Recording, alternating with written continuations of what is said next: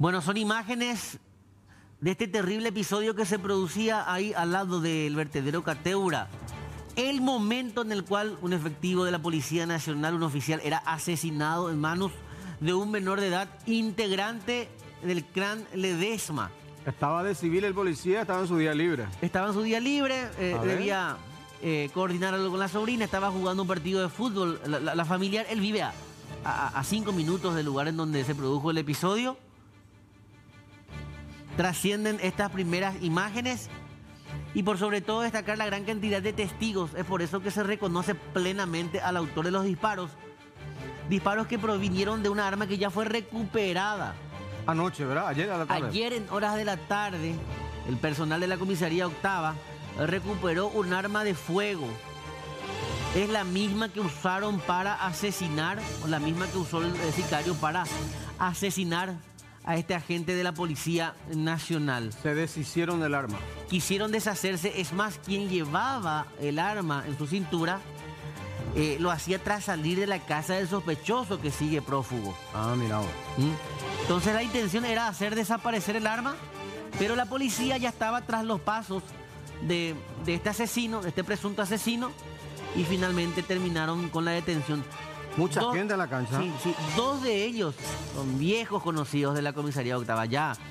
eh, uno de ellos inclusive con el seudónimo de Chori se lo conoce. Ahí corre la gente, desesperación. Ah, mi- ah, ese, qué fuerte, qué fuerte. Qué fuerte la imagen.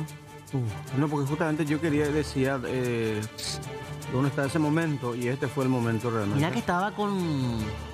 La mujer tiene una criatura en brazos. Sí. Es la esposa, tiene una criatura en brazos. Y esa, toda esa gente que se le acerca, Sí, mira. La mujer, mira, viene directo a la cabeza. sí, Y ahí están los testigos. qué fuerte. Qué fuerte la imagen. Y el autor sale corriendo del Sale lugar. corriendo. Sale y mira pie. que hay mucha gente que lo sigue, ¿eh? Ajá. Pero eh, el temor de involucrarse. Ahí sale. Ah, no, él estaba en la moto. A ver, a ver, ahí se va, se Ahí va, corre. se va, se va. Y el cómplice aparentemente. No, se va corriendo, hermano. Pero estos dos no, no lo soportan después, así no le hacen el soporte para escapar. No, Porque cap- él sale de ese grupo donde están los motociclistas. Ujú. Fíjate nomás, acá está la imagen. Ahí de ahí viene corriendo.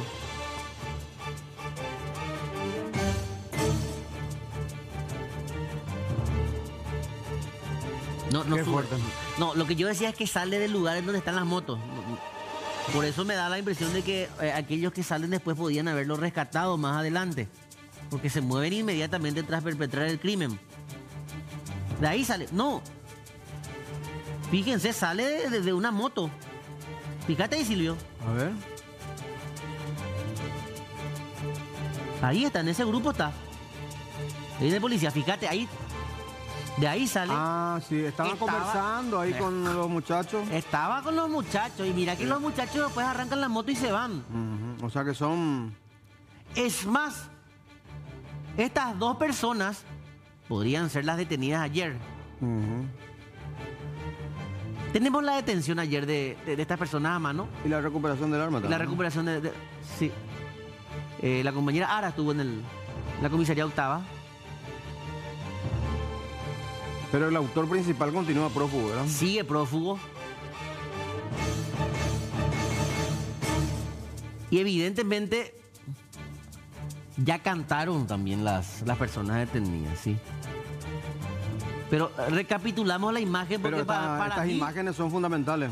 no, no- no digo para mí, o sea, si yo fuera policía, evidentemente, lo primero que se me viene en mente es que estaba con los cómplices y que cuando arrancan la moto, lo que hacen es ir por él para rescatarlo. Porque sale de ese grupo de personas Con Paredes, comisario Paredes. Comisario Rubén Paredes está. O al comisario Molina, jefe de la octava. Que Molina se- es, es investigador, o sea, comisario, jefe de una dependencia, pero eh, se dedicó mucho tiempo a investigar.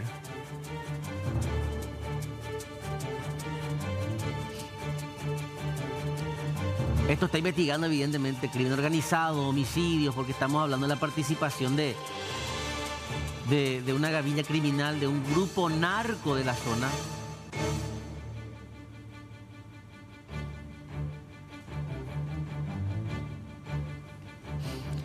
Impactantes imágenes. Me llama la atención el punto de donde sale el homicida, pero por sobre todo, además de la sangre fría con que ejecuta al policía, cómo lo hace frente a la esposa y una criatura en brazos. Eh, directo a la nuca, a la cabeza. Está encima de la moto, me dice acá Jorge Paredes. Sí, eh, eh, notamos que, que de ahí sale. Es más, abandona la moto. O abandona a quien estaba manejando la moto y la moto se mueve después.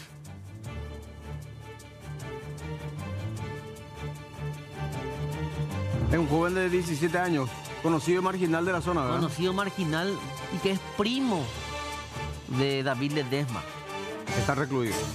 que está recluido. Su mamá decía ayer que 20 mil nomás tenía el domingo. Que fue a visitarlo y que le dejó un 20 mil guaraníes. Sí. Y ni tiene teléfono. Y que nos conoce a todos. A ver. Fuerte las imágenes. Ahí sale la nenita en brazos de la mamá, el policía y de la moto. Estaba sobre la moto, Silvio. ¿eh? Lo mata de espalda, estando él de espalda, ¿verdad? Y ni siquiera pudo ver a su atacante, mucho menos reaccionar, ¿verdad? La desesperación de la mujer. No, quedó fulminado ahí el hombre. Y ahí, mira, abríame la imagen, por favor, porque que- la- la- mira, sale el. Más que nada para analizar la, la- la salida de la moto, Sí, del grupo ahí de la, ¿dónde de- está del la grupo moto? de moto. Después, de- como, como él va corriendo, de ahí van a salir otra vez los, los cómplices. Ahí toma una tranquilidad tremenda, ¿eh? Una moto 12, y el otro sube a otra, ¿eh? 12, Ah, Sube la misma, pero estaba con, con estas personas. 12.